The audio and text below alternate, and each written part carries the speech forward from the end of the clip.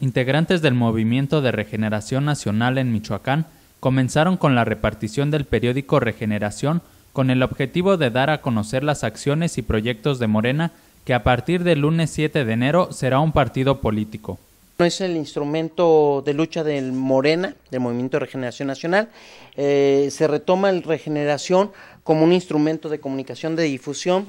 En su contenido prácticamente Miguel Ángel Sandoval, dirigente estatal del movimiento, señaló que el lunes 7 de enero estarán 10 representantes por cada distrito de Michoacán en las instalaciones del Instituto Federal Electoral para acompañar a Andrés Manuel López Obrador en el registro de Morena como partido político. Andrés Manuel va a ser el primer afiliado en la Ciudad de México, en el Zócalo Capitalino. Aquí en Michoacán seguramente será en la Plaza Melchor Ocampo un módulo de afiliación. Ese es un motivo de orgullo decirles que tenemos esperanza que va a haber mucha gente interesada en afiliarse.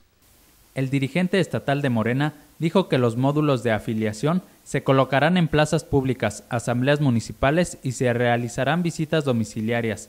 Las expectativas son afiliar a más de 53 mil personas en ocho meses. Lo vamos a lograr, hay mucho ánimo, hay mucha voluntad, mucho ánimo. Invitar a la gente a que se inscriba, se afilie. Ser de Morena es un orgullo es un motivo de orgullo, es un motivo de lucha, es un motivo de valores, de principios y de congruencia en el transformar de nuestra nación. El líder estatal señaló que el periódico pretende llegar a lo largo y ancho de Michoacán para dar a conocer a Morena como una opción política de izquierda. Se van a entregar ciento, en los 113 municipios 600 ejemplares en esta primera etapa en el mes de enero.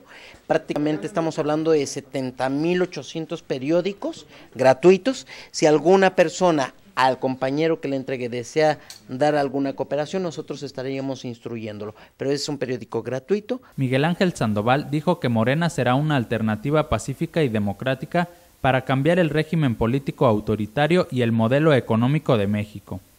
Con información de Dulce Arriaga Informa, Cuasar TV.